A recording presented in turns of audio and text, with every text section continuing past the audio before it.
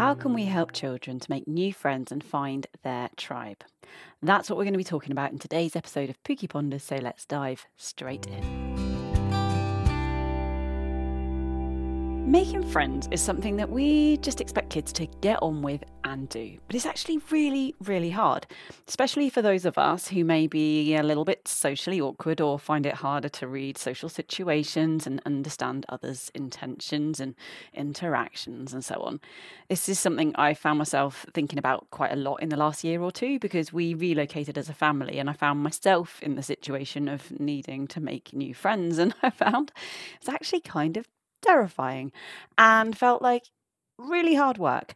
But I also found that when I put the hard yards in, then the rewards were absolutely, totally worth it. What can we do as adults to help our children to make new friends? I'm going to go through a few ideas that you could pick and choose from. And actually, these are largely ideas that you could use as an adult too. If you find yourself in a situation like me, looking for friends, trying to make friends, and finding it all a little bit hard. So, first of all, I think we need to start by actually defining what a friend is. And this can be more or less important depending on your child and their understanding of the world and their place in it. But certainly, we find with some of our children that they misinterpret what a friend is and what a good friend looks like. And so, having some of those discussions about what does it mean to be a friend? What should we be looking from from our friends? What's good? What's not? What's toxic? What's positive? And actually just thinking, what do I want from a friend? What would be my hope from the kind of relationships that I'm looking to build here?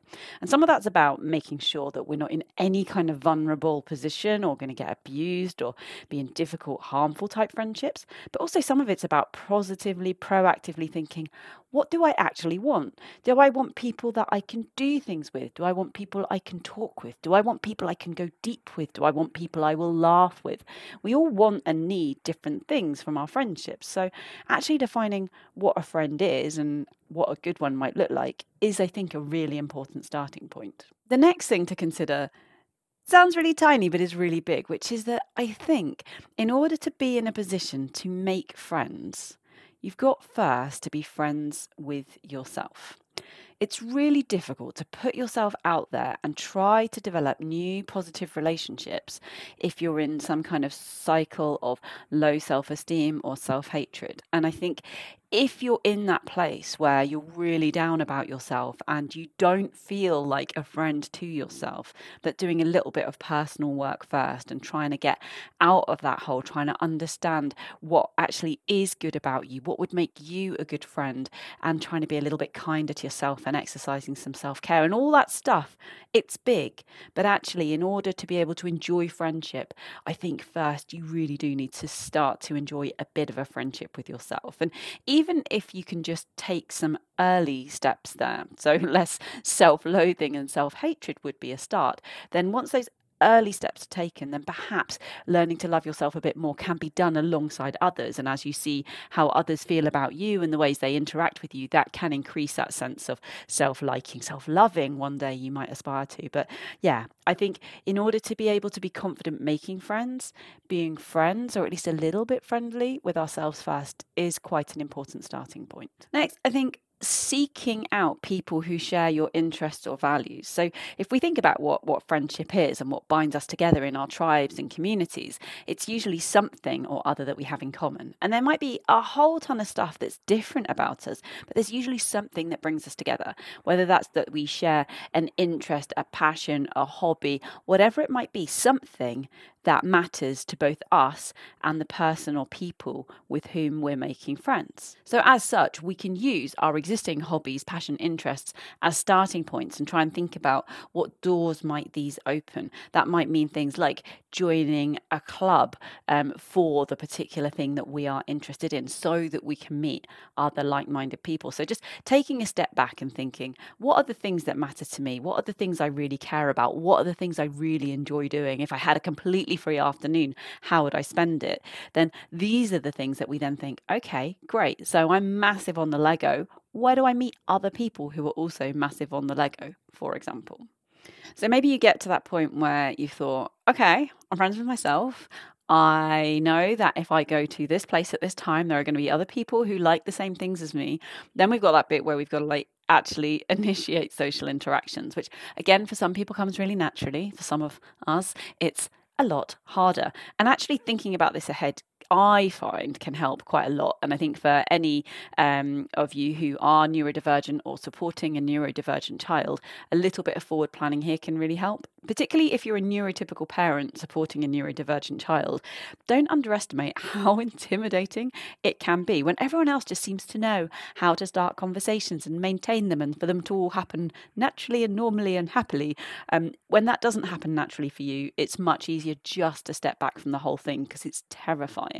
Um, so yeah, don't underestimate this and, and, and invest a little bit of time here just thinking about how can we initiate and maintain positive social interactions.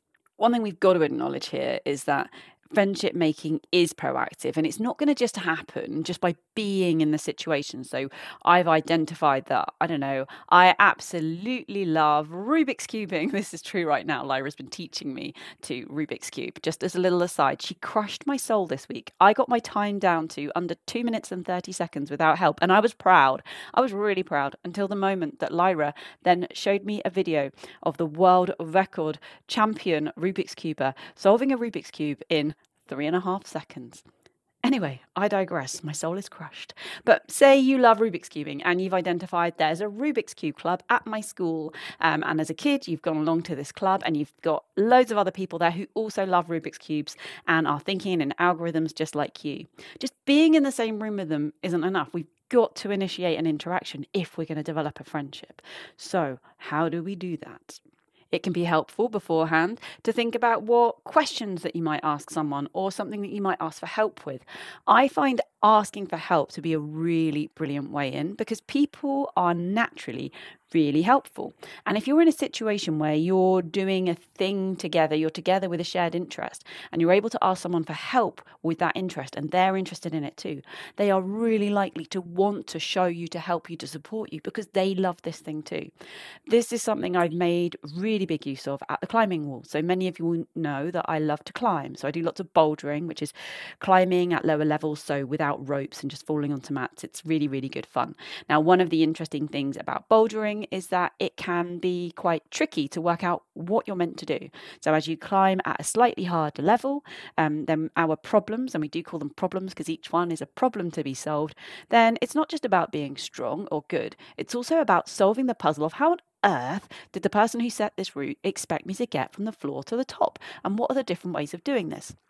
If I'm struggling with this, I will very often go up to a climber who is um, someone I've observed climbing and looks good and who I think I could learn from. I think they're better than me, basically, and say, hey, any chance you could give me a hand on how to start this climb or how to do this bit in the middle there? Any ideas you can help me with? And always they are super, super keen to help. And if they don't know an answer, often they'll come and we'll problem solve it together. Friendship initiated, bingo this has been a real revelation for me, actually, personally, because I spent a lot of time going to my new climbing wall and climbing on my own and really being sad that I didn't have the sense of community I had in my own wall until my husband said to me one day, You will not get community unless you create it. So now it's about initiating those interactions. And suddenly now I walk into the wall and there are nearly always people there who I am now friendly with, and it feels really different. So being brave asking a question, asking for help. So if you're supporting a child, you might think about what questions could they ask when they went to this club or this meet or, or whatever it is where they're going to see other people who've got a similar interest. Just being in the same room just isn't enough. So think about those questions and maybe practice them. You can do this through like role play back and forth, and it might feel a bit weird, but it is really helpful to practice these kind of questions. With younger children, you can do it through like actual play, getting the figures out, um, and and thinking about it that way. But but just thinking ahead, just just wondering what kind of questions could you ask, wondering what kind of questions other kids might ask them, and how they might be able to respond as well. Just just thinking through. The other thing about this is it can really reduce the anxiety of these situations because we've planned for some of the things that might happen, and it feels a little bit less uncertain, a little bit more in control. So it has other added benefits too. If you're in a situation where you want to start a conversation, um, begin an interaction, but it's not where there's an obvious shared interest. So, you know, you're at the Rubik's Cube Club, you can be pretty confident that if you go up to someone and ask them for help with the Rubik's Cube or start a conversation about cubing, that they're going to be interested and they probably got this shared interest too, and they're desperate for other people who want to hear about it as much as they want to talk about it. And it's like a pretty super great way to get stuff going. But in like slightly more benign type situations where there might not be the obvious shared interest, perhaps you just landed in your new tutor group for the year and you don't know anyone or something like that, um, and, and you don't know what people's interests and hobbies and all that kind of thing are and whether they share your passions and your interests, then we can think about what kind of questions that we can ask in those situations. And my top tip here, when we're thinking ahead about this, is to think about what questions that you can ask that you are genuinely interested in the answer to. Because otherwise, you could start a conversation that doesn't interest or engage you. Um, and also, if you ask a question that's kind of open enough that a general layperson could engage and they understand what you're talking about, so don't go too deep too soon, um, but which will help you see if there is a spark of shared interest, can be really helpful. So, for example, if you were an avid gamer, then you wouldn't go straight in with some like really complex question about your favorite move on level 654 of game X. You can tell I'm not the avid gamer here, but you wouldn't go straight in with that. Instead, you might open a more general conversation with someone saying, Hey, do you like to game? What do you use? And what's your favorite type of game? And you might start more generally there instead. Um, equally with reading or any other hobby, perhaps you really like animals. You might to say say to someone, "Do you like animals? Do you do you have a pet?" Um, and and start there, and then work out whether we can go deeper here. So it's about starting it broad, but broad on a topic that you're actually interested in. So if there is a spark and there is some shared interest there, then you've got a conversation you actually want to be part of. We can sometimes fall into the trap of asking questions that we've either heard other people ask or we've seen get good responses before, but that we actually don't care about. And then you can end up having a conversation but you don't end up having a conversation you're actually invested and interested in. And some people are great at having those kinds of conversations, but some people, like me, are not. I think that's a neurodivergent thing. I think that's the whole like small talk being tricky thing. Um, just can't talk about things not interested in find it really hard will literally walk away sometimes and look really rude, which is hard. So, yeah, try to start conversations that you're interested in having. My next tip here kind of verges on encouraging masking, so we need to be like a little bit careful about this. However, one of the things I found really helpful is to have like a friend making inspo. So think about somebody who inspires you when it comes to friend making, like what kind of friend you might aspire to be like. And this could be someone you know in real life, it could be someone from like a TV show or a game or a movie or a book or anything where there's a character where you go, they are a fantastic friend. I would love to be a friend like them, maybe, um, and aspire to some of their traits and characteristics. Now, why this is helpful is because if you find yourself in the situation where you kind of want to start an interaction, want to kind of embark on a friendship, not quite sure what to do next, it can be really helpful to kind of like step into the shoes of that character or just wonder what would they do next? What would they say next? What would they be thinking? What would they be doing? In what way would they behave? And I'm not suggesting that we should completely adopt the characteristics of someone else at expense of being ourselves, but rather use that character as inspiration for what we could think about doing next in our own way. So it's sort of it's to say, it sort of verges on the masking, and we need to be careful not to just kind of try and adopt these whole other characters and have to expend loads of emotional energy maintaining them. But when we find ourselves at a stumbling block and we're not sure what to do next, just wondering, what would my sister, who's way more outgoing than me, what would she do in this situation? Or what would that character that I just read in, in, in a book I just read that I really like, what would they do now? What would they say? Just using it as a prompt rather than as like a massive crutch, I suppose, is where I'm going.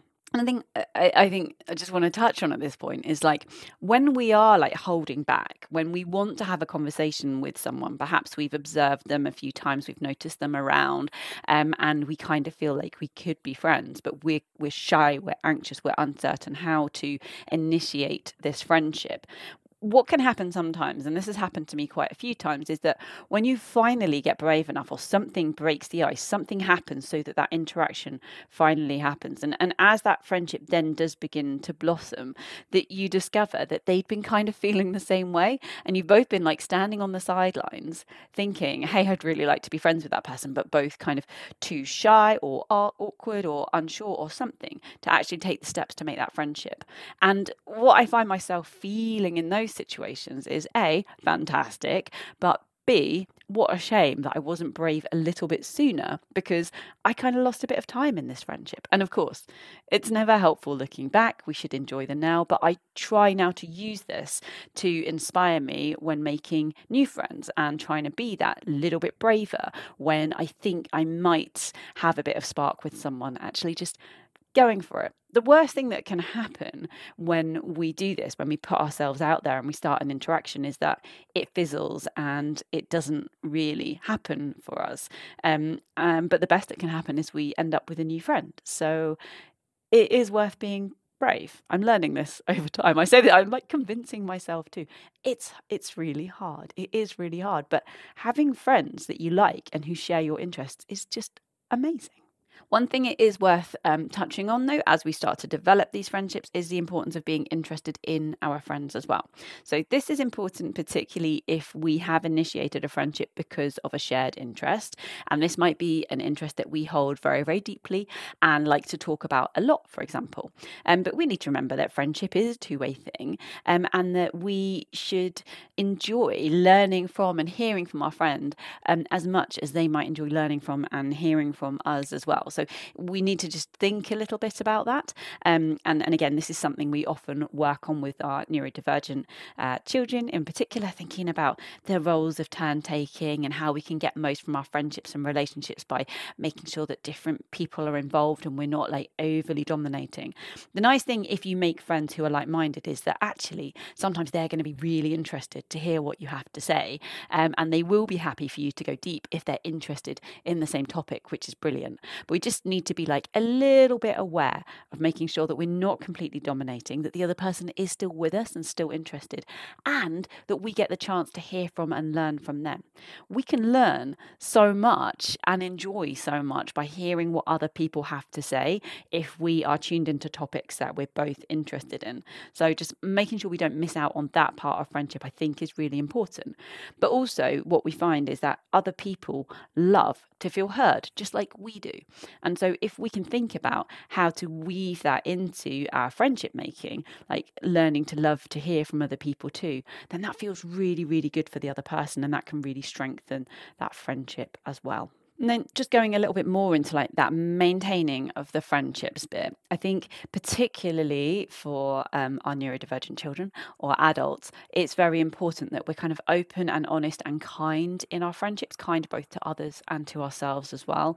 Um, and this does mean kind of thinking about if we need space or time, actually trying to cultivate a friendship where we can ask for it. Sometimes it's hard for us to be as involved with our friends as they might sometimes be with each other. So, for example, um, I've made lots of friends recently paragliding, um, and I have this wonderful community of people who I love to go flying with, which is just amazing.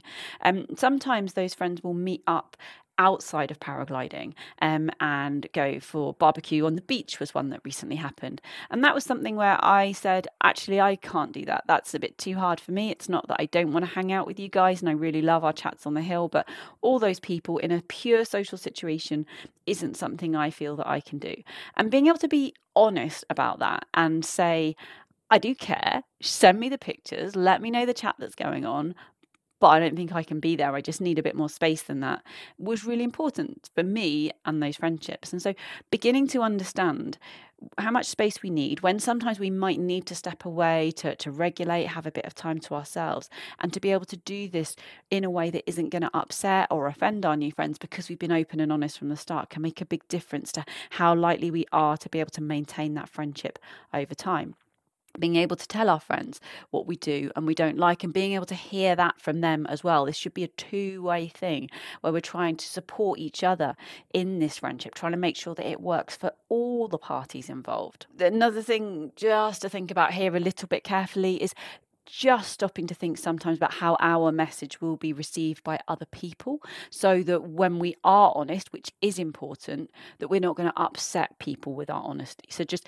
and it can be helpful to have someone that you can check in with about this if you're not sure about a conversation that you might be going to have with a friend. So, parent, carer, other trusted adult for a child can be really helpful when they might be saying, I feel like I need a little bit more space in this friendship. I really like my friend, but I, I want to ask them if I cannot hang out with them at the weekend because I need a little bit of time to myself. Is it going to sound okay if I phrase it like this? What are different ways that I might be able to explain this to them without upsetting them, for example? And being able to explore that and just thinking, how is is what I'm saying going to be heard by my friend, just so that we don't end up with those kind of misunderstandings, because these things can escalate really quickly. And again, we find this often, particularly in our neurodivergent kids, particularly if we have a friendship between a neurodivergent kid and a neurotypical kid, it can just get lost in translation. Sometimes we, neurodivergent community can be really, really blunt, plain honest in our discussions, in the things that we say. That works for some of us, and particularly when we're neurodivergent to neurodivergent, that can work really brilliantly. Neurodivergent to neurotypical, when the neurotypical person is tuned in to all the nuances of how people say things and they don't quite say what they really mean, and all the social niceties that we don't necessarily all get, then sometimes what we say lands really badly. So just exploring that, being curious about it, trying to test out the things that we might say if it's something a bit more difficult can try to avoid these situations also can be helpful to visit with the child that you're supporting if things have gone a little bit wrong in their friendship for a moment and a friend has got upset. Actually revisiting that conversation with them and we're not trying to blame we're not trying to shame we're just trying to understand why did my friend get upset? What did i say or do? Or what happened here that meant that they've become upset? Is it you know what what were they thinking? What were they feeling? How was this situation perceived by them?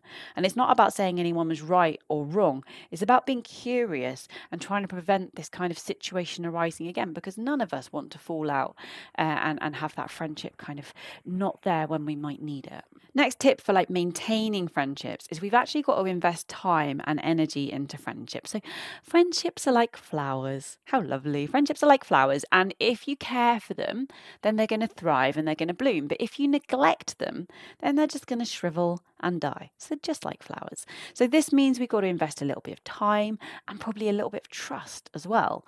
If we neglect that new friendship, even if it started really well and we worked really hard on those early interactions, but if we don't invest a bit of time and emotional energy and a bit of trust and a little bit of ourselves into it, that friendship is not going to bloom. So we've got to invest that little bit of time and a little bit of energy.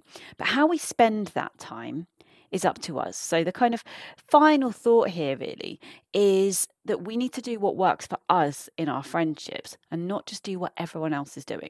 This is particularly important to look at with kids who are still at school, who might look at how peers maintain relationships and think they have to do friendship in that way. But actually, if they've made a friend who gets them, is on the same wavelength, and they want to hold their friendship in a totally different way, they might have their kooky, funky little ways of doing things. It doesn't matter if that's not the way that everyone else is friends. If it's what works for them, then that's awesome. I was just in touch the other day with one of my childhood friends, Lauren, who I was really, really, really good buddies with when I was about the same age that my children are now. So my kids are going into year nine. Lauren and I were really, really great friends around that age. So we were like 13, 14, maybe at the time I'm thinking about. And we used to spend our time like getting lost in the countryside, climbing trees, running away from cows, all sorts of like really innocent country type fun. And we had an absolute blast. And it wasn't cool. It wasn't what other people were doing. It wasn't like if we were following what other people were doing, we'd have probably been sat at home, like learning about makeup and talking about boys. But we didn't want to do that. We wanted to climb trees with tennis rackets in our hands whilst fending off cows is a particular memory. Whatever. It was fun. We had a lot of fun. We still laugh about it now.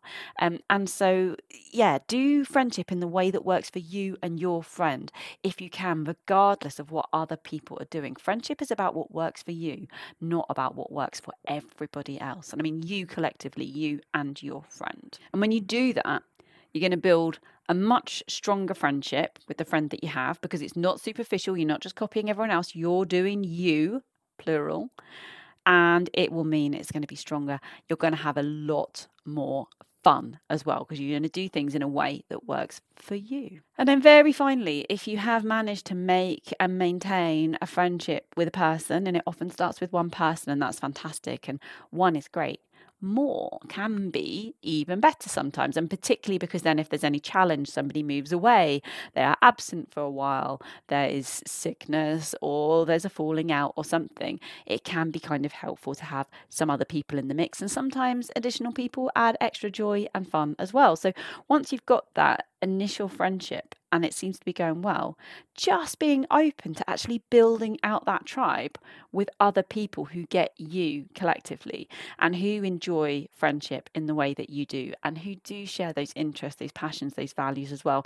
Someone else who there's a bit of a spark with. You don't need like hundreds of people in your tribe, but having a few can feel really, really great. So that's something that we might think about as things begin to develop over time. And also just remember that kid that you're thinking about including who might be sat on the outskirts and might not have other friends right now, that might be where you were a few months ago before you made this good relationship. And so inviting them in might be hugely, hugely brilliant for them as well as fantastic for you. So, in summary, having friends is really great, but making them can feel really hard for some of us.